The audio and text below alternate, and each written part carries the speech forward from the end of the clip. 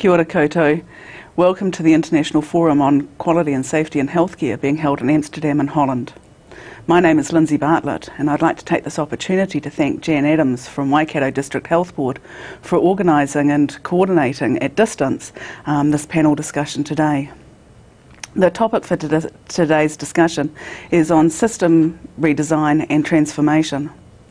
It is both my privilege and pre pleasure to introduce our panellists today. First of all is Mr. Jim Easton. Jim is the director, is the national director for improvement and efficiency in UK.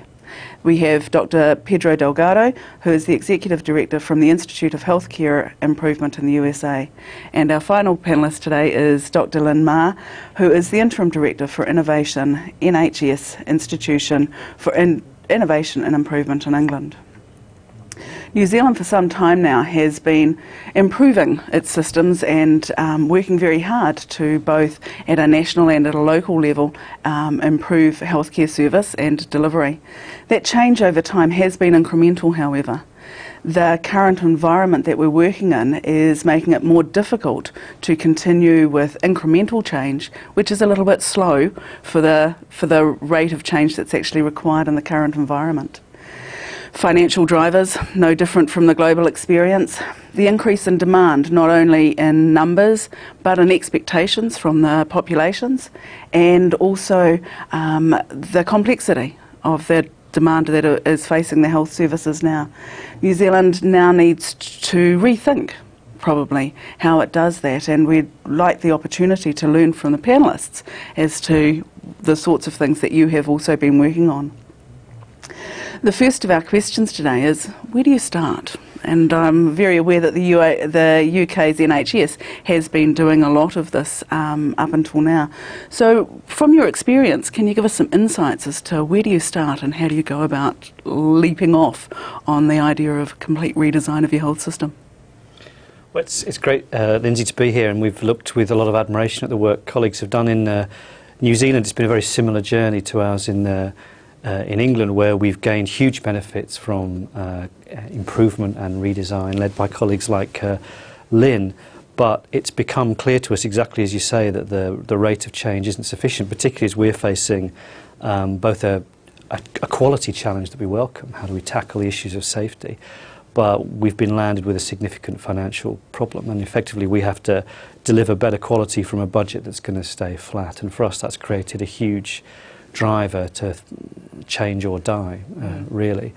Um, we did start though with where we were. I mean, you know, there, there's a lot in what we've done um, that we need to sustain. Um, you know, our basic game plan is built on continuing and accelerating the quality improvement skills that we've got. It's not a U-turn, it's a, an acceleration.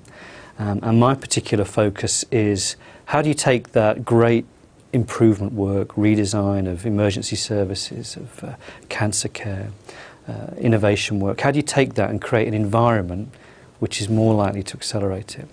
And I've become increasingly obsessed with a whole series of things uh, around the way you change the whole um, kind of the way money flows in the system, how we reward the kind of care that we want instead of the care that reflects yesterday, how we change leadership development to develop uh, leaders throughout the system, clinical, managerial, at the top, in the middle, at the front line, who are capable of uh, making this change, how we change the planning system so that people are focused on recognizing their job is a, they're doing their job well if they deliver quality and um, uh, economic uh, uh, economic gain. In other words, just thinking about the whole set of levers, whether you're working at a national level, in a local hospital, in a local community, what are the levers under your hand? And instead of running improvement as some kind of important but slightly side issue, how do you align all of those levers, all the things that make stuff happen in your country and mine, to all drive for the same thing? And that's really what our focus has been on. Thank you. Anybody else want to make any comment? No? I, I, I think Jim's um, uh, statement of, of the different levers in the system is exactly right. And I think for frontline staff particularly, it's about them feeling confident and enabled and tooled up to be able to do this from their perspective because certainly in both countries in terms of the frontline staff they're the mass who are going to you know uprise really to help that happen And I suppose that's one of our one of our key challenges is that engagement, um, not only of our clinical staff but also of our, our communities and our populations, um, and trying to move them forward. That this is in fact a direction we want to move on. And perhaps Pedro, you might like to comment on the best ways of engaging clinical staff and um, particularly our medical colleagues in being champions for the types of change that we are looking at. Yeah, I'll- start with three thoughts, and and and just to add to the last question, uh, there's a phrase that I love for framing this issue that we all have, which is transformation happens all the time, but start before you're ready. So there's never a perfect time for these things, and, and we're all in the same boat in whatever we're we're doing. In in, rel in relation to engaging clinicians, I, I would offer a, a framing again, which is useful in terms of thinking about engaging patients. So it's it's three. It has three elements. One is doing to. So are you doing to them? One is doing for. Are you working with them to do it? And one is doing with, which which conveys a sense of partnership. So thinking through those three things and trying to evaluate where you are and how you're framing those relationships, I think is useful. The other one is in relation to data, and it's it's an issue that I know Jim and Lynne deal with hugely in the UK. So generate generate light, not heat. So how do you use the data for accountability? How do you use the data for improvement? And, and, and when do you do that? When's the right time to use it for? Uh, and the third thing is, is this issue of, of uh, ensuring that regardless of the power struggles in relation to the clinician group and whatever administration's called in the US or managerial chains, is to ensure that there's a, an open line of communication where there's transparency. So I'll give you an example from Mayo Clinic, where Bill Robb brings people who continuously resist change and sits them down across the table and asks the question pretty openly. So, what's the alternative? I'm offering this for the organization. It's aligned with purpose, with your principles, and so on. You seem to have a better alternative. I'd love to hear what it is, and I'd love to learn because we need to learn from from people, and that engage that changes the conversation uh, because of the transparency, because of the, the, the, the natural state that, that that conveys. So. I mean, they're great. They're great points, and um, I love that example bec- of the Mayo because engagement, particularly with clinical colleagues, is a contact sport. You know, it doesn't happen by email or um, uh, newsletters. Those things might be useful, but it happens kind of pretty much one to one or in small groups. And you know, when you're leading change, you just have to create the time to do it. And it, it, it seems kind of really expensive in terms of the time you want to spend, but you, you absolutely have to do it. Uh, and, and you're not leading change if you're not spending a really significant slice of your time in corridors, in the operating theatre, where people are having exactly those debates around uh, purpose and um, where you go. And then you need to differentiate, I think, again, as Pedro was saying, and there's no problem finding champions. You know, in your system, they'll be fantastic. I mean, you couldn't stop them if you tried. They'll be, they'll be doing stuff. The real effort is around the, the kind of diffusion curve and helping bridge to those people who are looking slightly nervously at what's happening and kind of making a connection with those and having a strategy for those who actively resist. Although I think one of the great risks of leading change is having too much of your time sucked towards the really negative people, but more thinking about working through the diffusion um, curve. So we're, we're trying to do this thing called a massive engagement program where we're trying to um, engage literally tens of thousands of, um, of people, which is a huge effort. And we did that fairly traditionally at first with all sorts of engagement events. What we're moving on to now, which my colleague, who I know many people in New Zealand know, Helen uh, Bevan, is leading and, and would be really worth making contact with, is trying to use specific techniques of political campaigning. You know, the way that the Obama election campaign was run, for instance, to create much more energised networks of leaders rather than having to push communication out all the time. And we think those skills of harnessing um, a campaigning approach to bring people on board are great. Having said all that, this stuff is difficult. It challenges interests, you know, and you know uh, you will get people who are not opposed to change. They're just opposed to losing status, symbols of their um, kind of success. And it, even done well, it's a complicated and occasionally tough journey. Let me offer a bit of humor, just because he mentioned contact sports and it's just an easy win here. You guys have the Rugby World Cup coming up. And I wonder from an an haka before every, exactly, before fro- every or from an incentive point of view, you know how creative you can be with the Rugby World Cup and what that's going to bring with some other resistant clinicians. I just think starting every clinical meeting with a haka would be fantastic. Set the tone.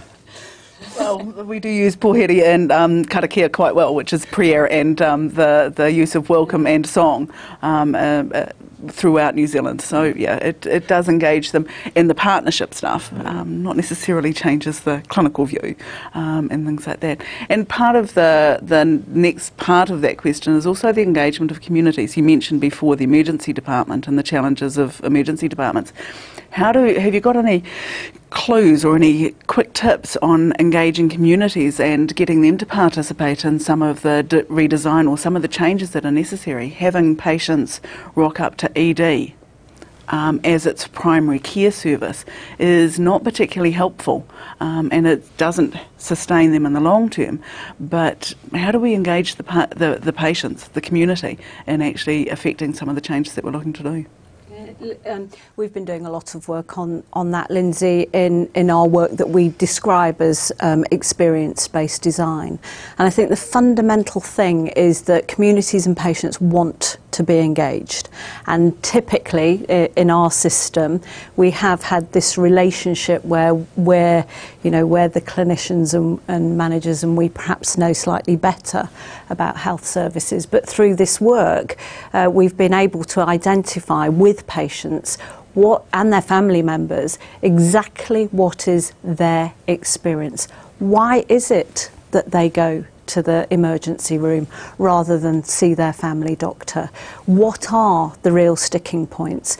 So that then, through those experiences, we can understand uh, their process and get insights to work with them about how to make that better. And we're doing a lot of work around that now, both with patients' family members and their family doctors and in relation to emergency care because our, our rates of people trying to access emergency care have gone up. What we're finding is many patients and family members are confused about where they should go. It's not clear when the family doctor is open what they should access care there from how you know what else is available. So the communication that has been written typically by professionals is not clear when read by other people. And that's given us really great insight into you know the patients and family members helping us to write that information, for example. And, you know, what we found is through this co-design, as we call it, the patients and family members are identifying waste, they're identifying points in the process that the clinicians feel were helpful, but the patients and family members are saying, oh, we don't know why that's there, we don't need it. And so we're able to streamline services, take waste out of the services, and increase quality, safety while reducing cost. It's an untapped resource. Lynne- Lynne's work on engaging patients is uh, absolutely fantastic, and I commend it to anyone in terms of just building it into redesign. It's just top quality work. But the hard truth for us on emergency care was that we started thinking patients were wrong and we just needed to kind of get them sorted. Turns out they're making entirely rational decisions. And it's, it's as Lynne says, our emergency care system is confusing. Um, particularly when we've been through a period of growth, we kind of overlapped um, you know, actually massively improving our emergency department. So you now get seen really quickly and high quality. New arrangements in out of hours care for primary care. We've introduced all sorts of other bits of services in communities. And you can't expect people sitting in their homes with a child with a raging temperature to do anything other than make a rational decision, which is what's the quickest point of access to high quality care. So it turns out the patients are right. They're making rational decisions against a confused background. So, in addition to involving them, we've had to face some hard questions about pretty fundamentally stepping back and thinking about our pattern of services. And one of the things we're doing is. Um, uh, and forgive me, you may, you may have done this um, already, is introducing a new non-emergency telephone number, 111, across the country, um, which, uh, and I spent some time with one of the pilot sites last week, which uh, uh, not only do you ring and they kind of, you know, say, my child's got this raging temperature, uh, they don't just say, well, you need to see a GP. They'll say, we can arrange transport for you to get you to the out of hours centre. It'll be there in 15 minutes. And make it work from the patient's point of view instead of expecting our patients to navigate their way through a ridiculously confusing system. And they are right in the face of that to escalate to the nearest point of safety. So I'm afraid we had to take a hard look at what we'd created and realise that it was us who were the problem and our patients who were rational, not us.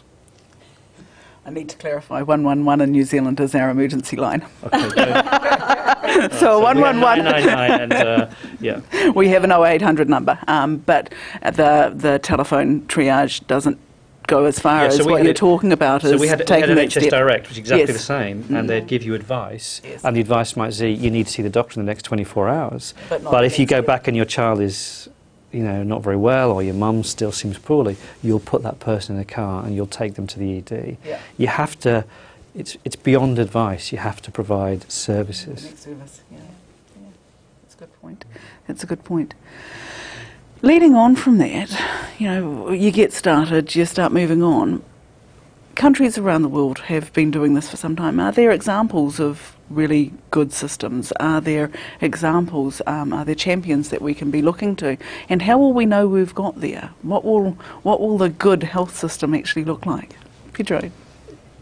Yeah, so, so this is a this is a complicated question, and we tend to go to the same examples all the time. So we mentioned Jönköping County in Sweden, we mentioned some of the elements of Tayside, we mentioned the Kaiser Permanentes of this world. I'm going to offer one, one example just from a from a non-traditional setting um, in Mexico. Uh, Enrique Ruelas is a is a Surgeon General of Mexico, the General Secretary for the Department of Health, and when he was leading quality for the country, he started a a group of citizens uh, and, and, and an exercise through them of accrediting healthcare sites. So this, this was his idea of sustainability, that if you give it to the population, it will, sustain, it will be sustained over time because it's not dependent on who's in charge or when it happens or how it happens. There's a process, they lead it, they own it, and they drive it. So this, this was called citizen endorsement strategy. They, they go with a checklist to a healthcare facility where they're not patients. This is a small group of citizens. They might be associated with a community or with a university.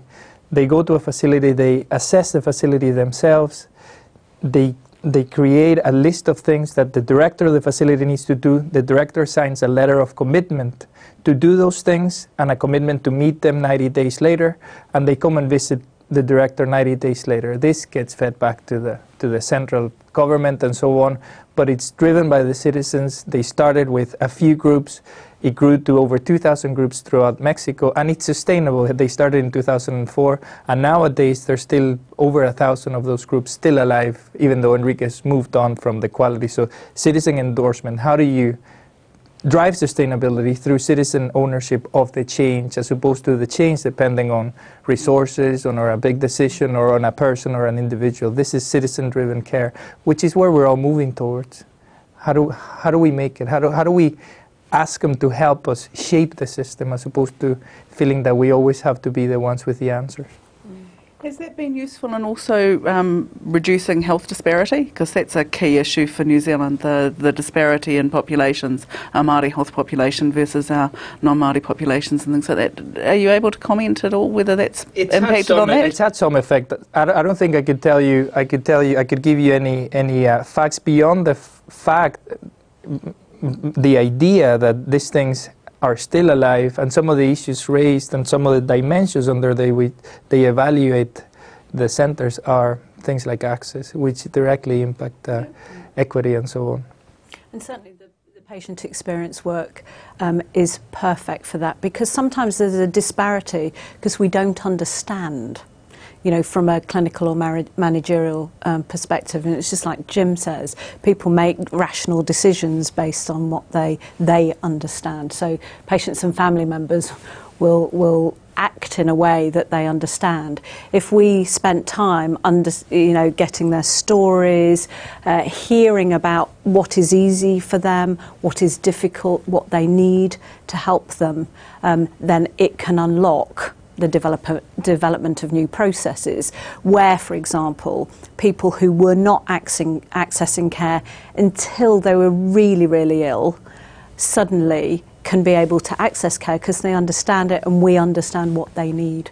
And, and that, that saves, it saves heartbreak if somebody's really, really unwell and it saves money because they're accessing care earlier, which is usually not as costly as accessing, you know, emergency care at the last minute when you need an operation. Can I say something about this um, sort of exemplar sites? It's a really interesting problem, and, and the examples Pedro quotes are fantastic and they are inspirational. But when I've, when I've sort of, you know, visited Kaiser or whatever, I have two experiences. Firstly, I'm very inspired, but I also feel a bit overwhelmed. Because the question is, well, how on earth do I go from where I am to where these, where these people are?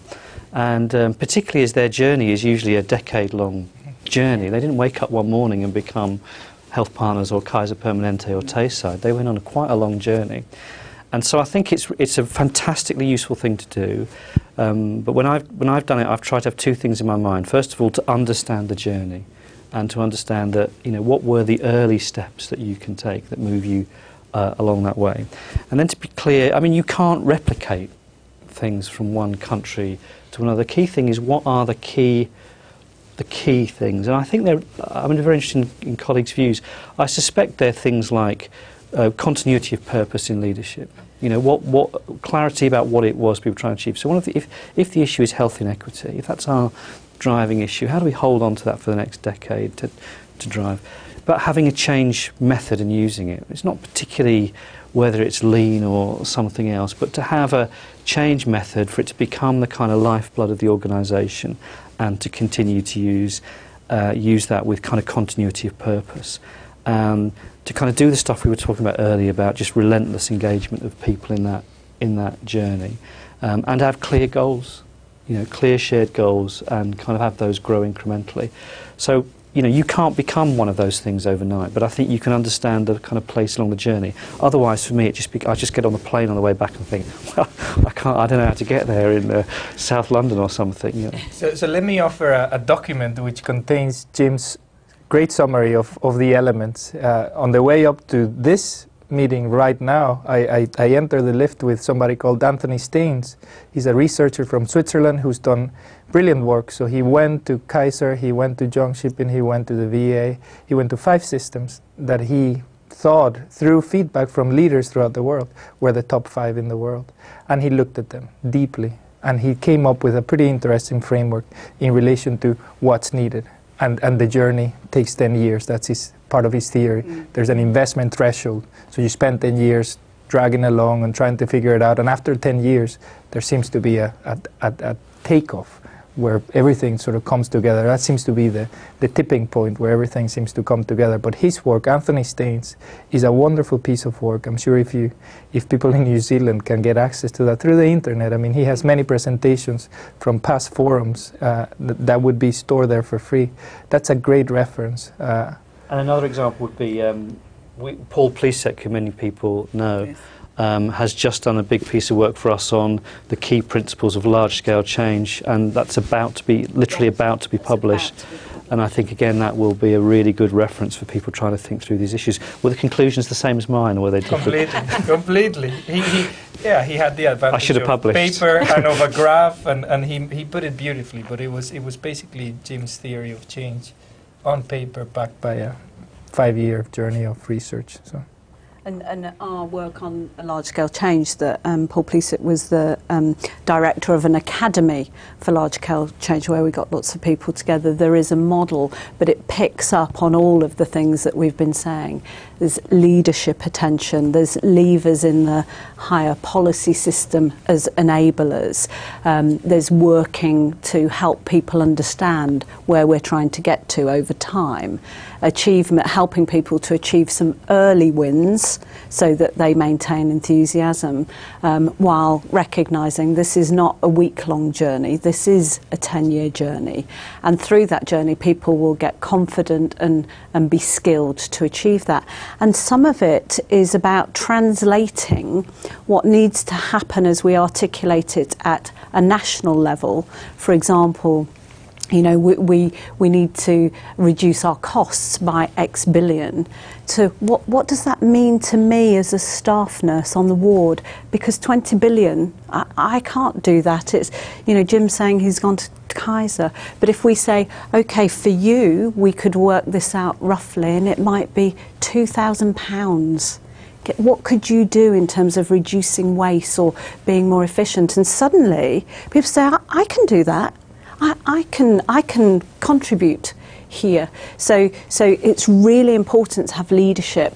But for me, a, a critical factor is translation to what that means to our workforce, who are the people who who we rely on to deliver this. You know, so so making sure they understand and they're able. It's been very, very useful. It's it's also answered the final question, which was a run around the concept of change fatigue, and what you're saying is change fatigue is not something you should be addressing if you're addressing the fact that this is a 10-year journey. Just man it's up. going to take yeah, it's going to take time and, and to get used to it. This is where we have to go. Um, we're running out of time, unfortunately. It would be great to continue the conversations for much, much longer. Um, so I'd just like to thank you again on Thank behalf Liz. of New Zealand, and um, and we will take your advice on board and um, and use it to improve our systems. So thank, Thank you. you. very much. Thank you. Keep doing the great work you're doing. Thank you.